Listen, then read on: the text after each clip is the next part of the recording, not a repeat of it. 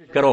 अवाम का जहन बनाओ मुसलमानों में। आग जो है इसको भड़का दो कि एक मुसलमान अपनी जगह रोना शुरू करने के खिलाफ के लिए कोशिश करें। पढ़ो, अपने आप को ठीक करो।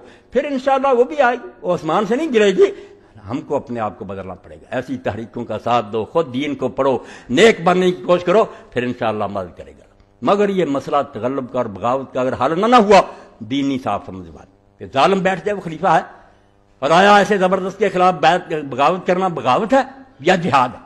ये दो मसले जो है, इनको इंशाल्लाह क्लियर करूँगा और ये मेरी ज़िंदगी के प्रकार जो मैंने किताबें खंगालनी कोलमा ने इस बारे में इतना घपला किया कि अगर वो ठीक है तो फिर दीन के लिए कोई काम नहीं हो सकता। फिर यही है कि आराम से बैठ जाओ, तुम्हारी बेटी उठाकर ले जाए मस्जिदें गिरा दे मुसलमानों को कत्ल करते रहे बस कलमा को।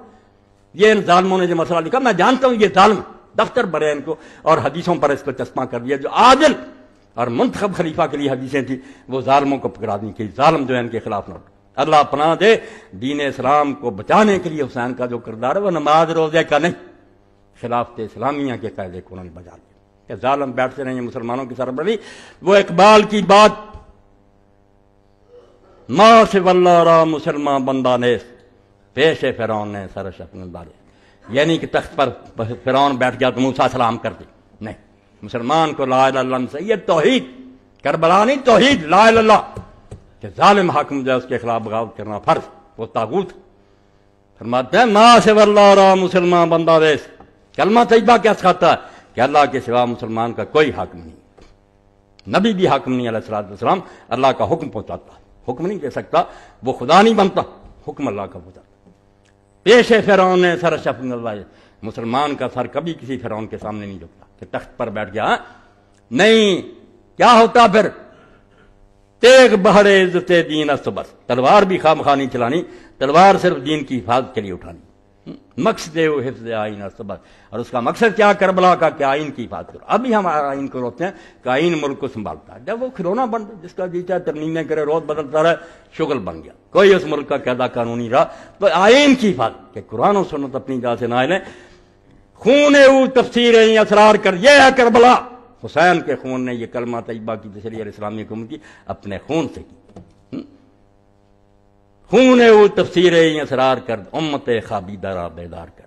जो सोई हुई उम्मत से उसको जगा दिया, ठीक है, नारायक व्यक्ति ही आए और माँ किताब में लिखते रहे, मगर अलहमदुल्ला इबन हजम जैसे भी पैदा हुए, दूसरे नेक लोग बैठा हुआ कहाँ है तुम्हारा इजमा? ये इबन तैमिया रहमद बिन हम्बल कहाँ से इजमा ले आए कि जालम बादशाह भी जाए उसको खलीफा मानो?